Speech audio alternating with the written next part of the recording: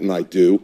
Um, he's an honest, straightforward guy. Did not want to testify. No. Well, look, and it's a difficult position, right? You're a lawyer, you have a client.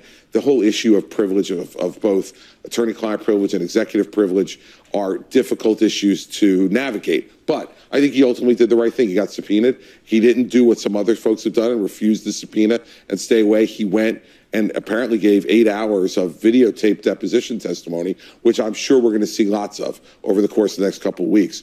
The truth finds its way out.